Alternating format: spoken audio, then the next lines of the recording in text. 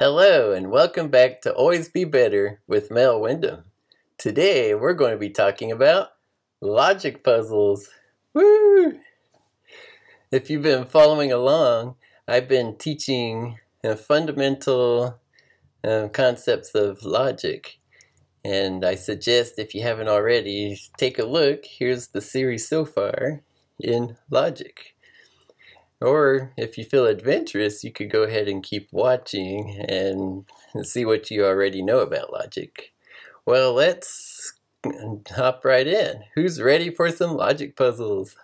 Okay, we're going to go to logicpuzzlebaron.com and we're going to try a logic puzzle. Now check out this guy. he must be the puzzle baron. Doesn't he make you want to go get pizza or something? well, let's see. Let's. I'm just going to move the screen here so that we get more room. And let's go ahead and jump in. A logic puzzle. We'll start with the easiest setting 3 by 4 grid and easy. Okay, let's create a puzzle. Start the puzzle. Okay, let's check out the story. Oh, we got Bigfoot. Okay, Bigfoot sighting registry. Using only the clues below, match each witness to the month and time of his or her sighting and determine the location in which it occurred. Okay, so we have witnesses, we have locations, and we have the months that it happened.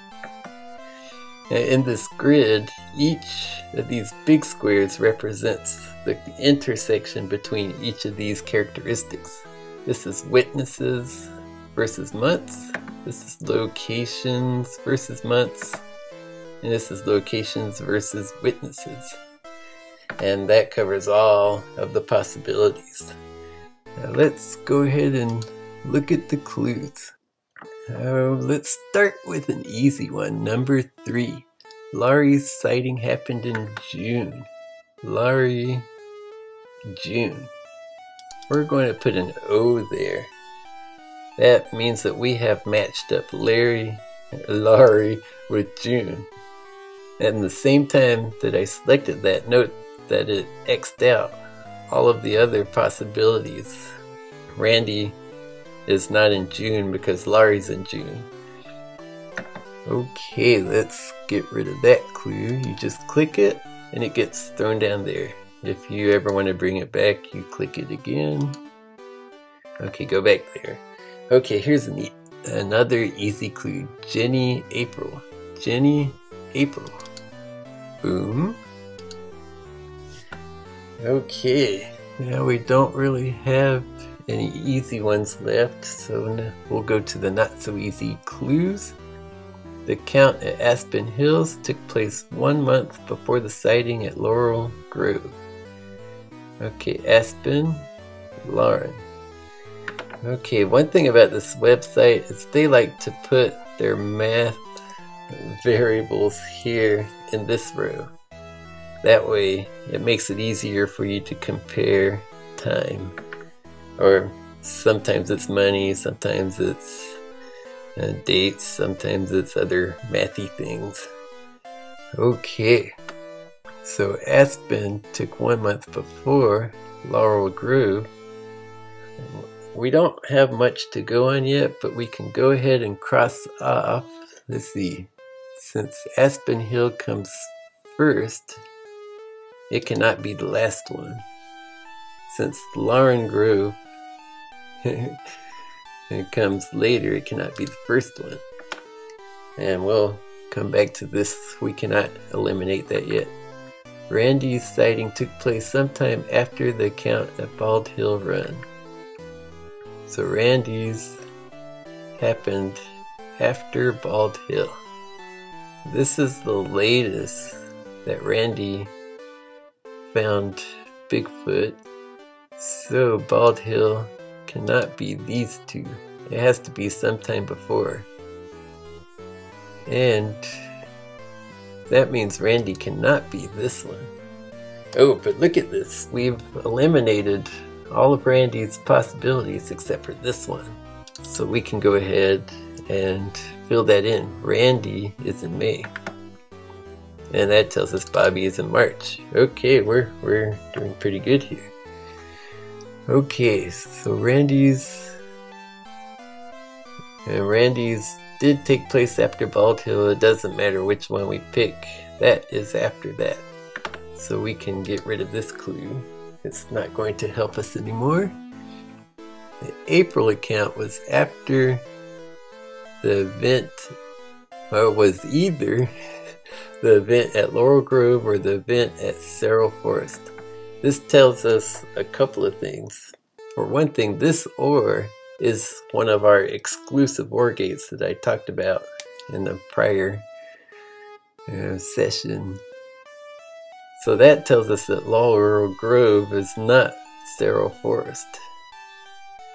So Laurel Grove, oh, they're right next to each other. Okay, they can't be each other anyways. So April was either Laurel or Cerro. Since it was one of these two, April cannot be these two. Oh, and look. Another elimination, another elimination. Okay, and let's get rid of that. We got one more clue. And before I continue, let me show you this graphical thing you can do. Look at this one right here. Bald Hill Run is in March. And Bobby is in March. So that tells us that Bobby um, is at Bald Hill Run. And let's look down here. Bobby Bald Hill Run, we can fill that in. And notice how this makes kind of like an L shape, only it's upside down. It's kind of like an F without its middle bar. So I call this the FL rule. If you have two circles in the FL position, then you can fill in the third location. Like these two are lined up so we can go Aspen Hills, boom, Aspen Hills. And now notice that we're starting to use graphics to help us solve this faster. We're using tools to solve this logically. And well, let me continue. We got one more clue here. The count at Aspen Hills took place one month before Laurel Grove. One month before Laurel Grove. And once you solve the, all of the top row, it fills in everything else for you. Let's see, March is Bobby, Bald Hill Run. April's Jenny, Sarah Forest. May, Randy Aspen, June, Laurie, Laurel Grove. And let's submit this and see if we're correct. Yes! Oh, but look, at the end, it will tell you how you did. We were very slow because I was talking a lot while we were solving this. Well, let's let's solve one more puzzle. I'm just going to up this to 4 by 4 That means four characteristics with four items. Okay, let's see what we got. We're going to skip the story. When you get used to this, you learn to ignore the story. All you're doing is matching up items and characteristics. It's always the same. So, let's start this. Sydney, not Brown. Sydney, not Brown.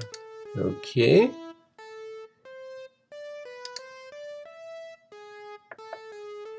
Okay, that's all we get with the easy clues. Let's see. Okay, this is a new kind of thing. It gives you three different items. Turtle, yellow, five dollars. Um, since these are mutually exclusive, yeah, kind of like the uh, exclusive OR gate that we talked about before, we can cross off all of these combinations. The turtle cannot be yellow. Turtle, not yellow. Turtle cannot be $5. Boom. And yellow cannot be $5. Yellow cannot be $5. Okay. Done with that. And here's another three different items. Awesome. The cat cannot be yellow. Boom. The cat cannot be $6. And the yellow cannot be $6. Yellow, not 6.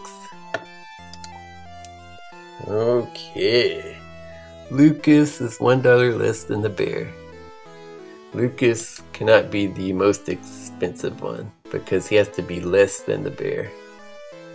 And bear cannot be the cheapest one. Okay. Lucas is less than the bear. Okay. And Lucas costs less than the yellow balloon. So same thing. Oh, look at this. uh, I crossed that out because yellow cannot be the cheapest one. And that also tells us that Lucas is less than the yellow balloon. So that now we're doing good here. okay, of the red piece and the yellow piece, one was the fish and the other was Tony. Okay, it's talking about, it's pairing up the characteristics. The red cannot be yellow. We already know that because red just can't be yellow. And, but let's look, the fish and Tony Fish cannot be Tony because those are two different people or two different items. Okay, so we'll come back to that one. Of the balloon, Lucas bought and the turtle. Okay, Lucas is not the turtle. Lucas is not the turtle. One was red and one was orange. Okay, red is not orange. Okay, before we continue, Let's see if we can do any FL. There are no circles lined up, but we have a circle lined up with an X. We can work with that. Okay, look at Lucas. Lucas is $3, and the bear is not $3. That tells us that Lucas cannot be the bear. So bear Lucas is right there. So this FL rule tells you that if you have two parts of the FL, one is a circle, one is an X, you can put an X in the other location. And look, we have another circle lined up with an X, so we can do something here. Lucas, boom, Lucas. Okay, I think that's all the X's we have for now. So, or do we? Yeah, yep, that's all I can find for now. So let's go through the clues again. The piece Lucas bought cost $1 less than the bear. Lucas is $1 less. Add 1, 4. Bear, boom. Done. Okay, and now we got some lining up here. Yellow, bear, yellow.